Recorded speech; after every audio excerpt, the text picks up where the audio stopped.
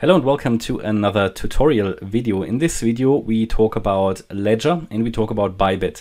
And in particular I want to show you how you can move funds or cryptocurrency coins or tokens off an exchange, in this case Bybit, and uh, then store them on a hardware wallet, in this case Ledger. So um, if you, before we start, if you like to support the channel, if you like the content, you can find uh, two links to one for Ledger and one for Bybit in the video description. And if you don't have a ledger and if you're interested in one and if you are not on Bybit yet and you might want to sign up for Bybit, then feel free to use those links. It would support the channel and sometimes um, Ledger may offer a discount and Bybit may offer a bonus, but that changes, you know, week after week.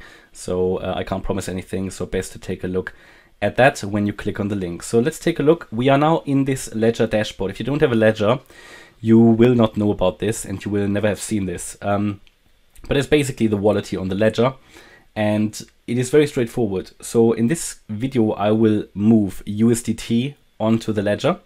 USDT, that's an ERC20 token. So to store USDT here on the ledger hardware wallet, I need to go to receive because I want to receive something and I can select here the app um, or chain. Yeah, and you can add new apps as well. So in this case, it would be Ethereum. And they obviously warn you, please only send ETH or Ethereum tokens to Ethereum accounts. And it is an Ethereum token, it's an ERC20 token. Sending other crypto assets may result in permanent loss of funds. So I click on continue. Okay, so I'm now in the Ethereum app and I see my address, the Ethereum address that I can use to send USDT to the ledger. So what I have to do, I have to copy this address and then I go over to Bybit. So here on Bybit, what I have to do, I have to go into my assets. I have to go into withdraw because I want to withdraw USDT. I have to go to in this case, spot withdraw. And I don't have any, well, I have a little bit of BTC actually, but um, what is important is now USDT. So there are some funds on here. I have to paste in now the address. I have to select the chain type, which would be ERC20 in this case. Yeah, because we're talking about USDT and I'm sending it to a ledger. And I select, in this case, the minimum amount is 10 USDT.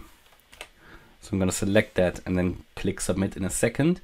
Um, one important thing when you when you do that, make sure that you only send ERC20 tokens to the Ethereum address.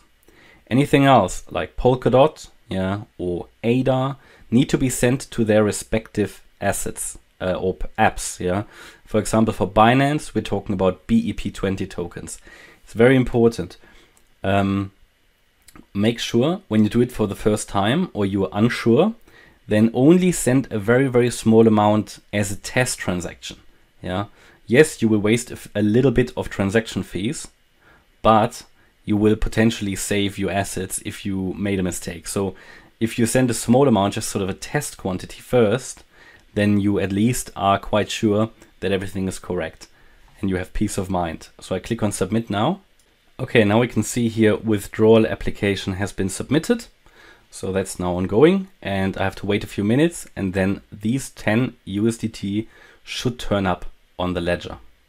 Okay, and here we can see that we have just received Tether USD from the address and uh, everything's fine. So that's on the ledger now and that was hopefully quite straightforward. I know there's always a little bit of a learning, a learning curve involved with it, but I think it's worth it. I can only recommend hardware wallets and um, if you're interested again in a ledger or in registering on Bybit, you can find the links in the video description. Hope you like the update and tutorial.